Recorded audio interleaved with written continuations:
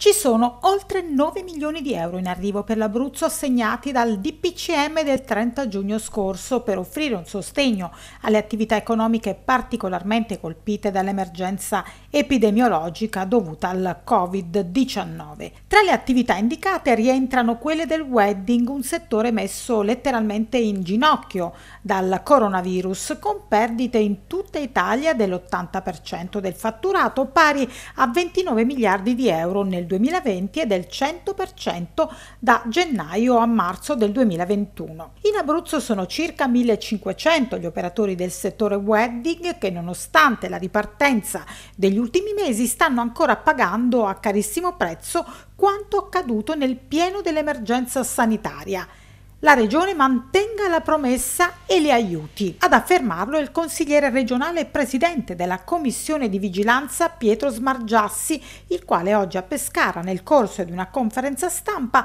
ha illustrato ai giornalisti la situazione e le nuove opportunità economiche che si possono aprire per il futuro di queste aziende. Il 30 giugno di quest'anno il governo ha stanziato oltre 9 milioni di euro a sostegno di tutte quelle imprese e quelle aziende che hanno subito particolarmente gli effetti di questa pandemia. Di questi soldi 5 milioni di euro sono immediatamente disponibili a sostegno della ristorazione e del settore del wedding, un settore che è andato letteralmente in ginocchio. L'85% di queste aziende hanno avuto fatturato pari a zero, sono state ferme per quasi due anni. Ciò che denunciamo è il fatto che in Consiglio regionale con una nostra risoluzione avevamo chiesto al, al, al governatore di andare al governo e chiedere un unico codice ateco che desse loro maggiore potere contrattuale in una discussione aperta per la richiesta di aiuti. In realtà questo settore è diviso in mille settori, pensiamo alle bomboniere, fiori, ristorazione, eh, eh, tutto ciò che ruota intorno ad un matrimonio, che si è fermato per due anni.